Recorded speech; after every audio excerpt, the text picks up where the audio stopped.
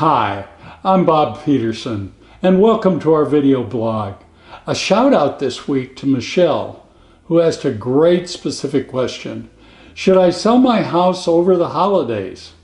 That's a great question for this time of the year. So I've asked the Peterson team lead listing specialist to come in and help us with that answer. Diane, should Michelle be selling her house over the holidays?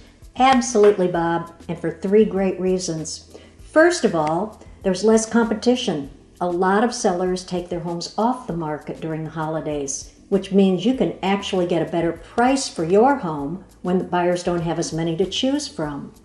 Secondly, those buyers looking at homes during the holidays, instead of Christmas shopping, are serious buyers. They're great buyers. They're motivated. They're on a mission to find a house.